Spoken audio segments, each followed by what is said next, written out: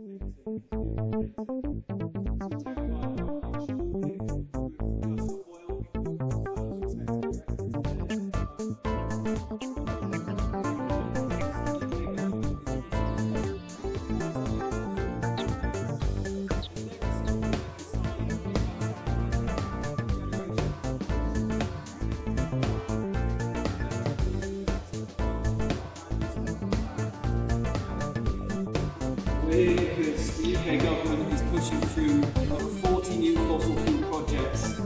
And with every single project they sign, it's like signing our death warrants. My generation has no other choice to take this kind of action. If